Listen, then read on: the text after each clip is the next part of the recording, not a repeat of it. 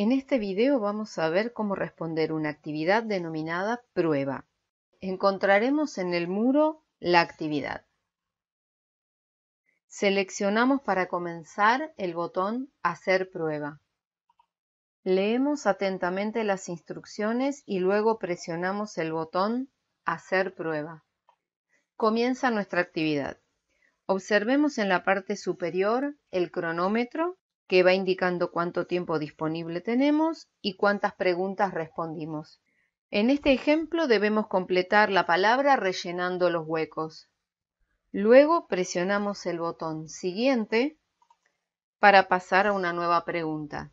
Así continuamos hasta llegar a la última.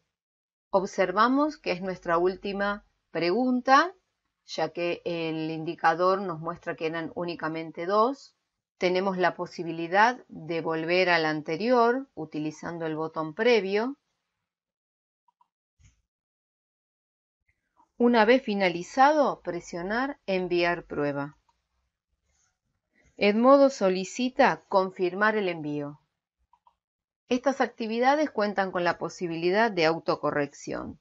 Para eso, utilizamos el botón Revisar prueba veremos en color verde las respuestas correctas y en rojo las incorrectas.